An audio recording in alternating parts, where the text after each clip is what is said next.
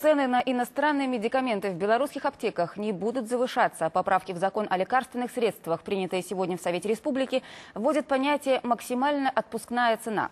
Эту стоимость производители будут заявлять при регистрации препаратов в Беларуси. Кроме того, нововведение позволит упростить и процедуру получения свидетельства. Теперь при выдаче повторного удостоверения закон предусматривает бессрочную регистрацию. Но это вовсе не значит, что исчезнет постоянный контроль за качеством таблеток. В новом законе четко прописано, что в Беларусь а с 2016 года и в страны Евразийского экономического союза попадут только те лекарства, которые имеют международный сертификат.